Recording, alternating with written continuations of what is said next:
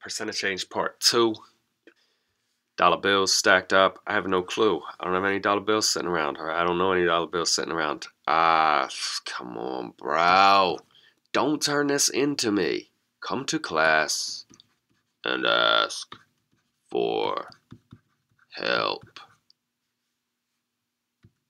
This is legit. I like it. And I also I also like the logic here. You're saying, all right, this is this is actually a guess. I'm gonna guess that they're hundred dollar bills because they have to be a bigger amount of money for the stack to get smaller. Okay. There's actually a way for you to get the exact answer that you'll see on somebody else's paper later. But it is at least reasonable. And if you're going to make a guess, make sure you explain your reasoning for the guess. So this this person must have some sort of lawyer training because this is a this is a wonderful answer and the explanation is nice and thorough. Goes down so first the premise. Bill goes down by 60% and then the support. This is what I did. Okay? Then the new premise. $50 bills. How?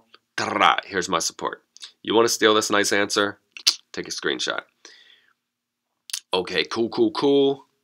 This person has the situation set up properly, but you have forgotten that I said if our percent change is negative, then we want our or if our if our percent change is down, then we want a negative number. So you actually want a negative 64.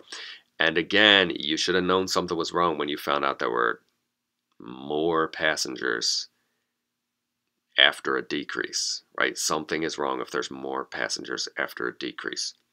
Also, you don't have any steps in between this and that, which I don't think that this is a solution even to this equation. So I don't get to help you figure out where you went wrong.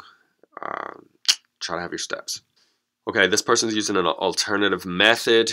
Uh, it is legit. They're saying, I'm going to break this into two pieces. First, I'm going to find out what 64% of that number is.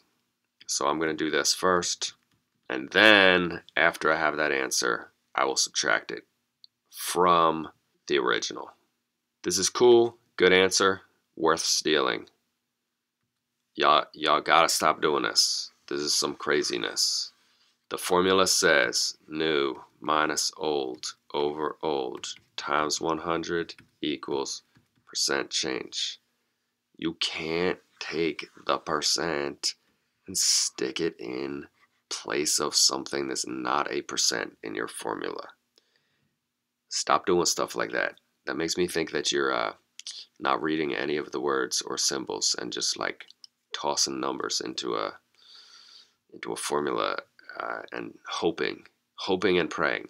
That's like taking all the ingredients for your chocolate chip cookies and just like just like scattering them around the, the kitchen and hoping that they will come together to form delicious desserts.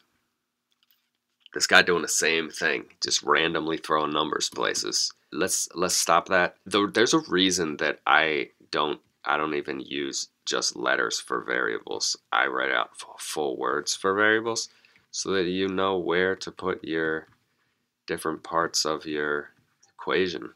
All right, this guy, again, again, clearly, this is a percent.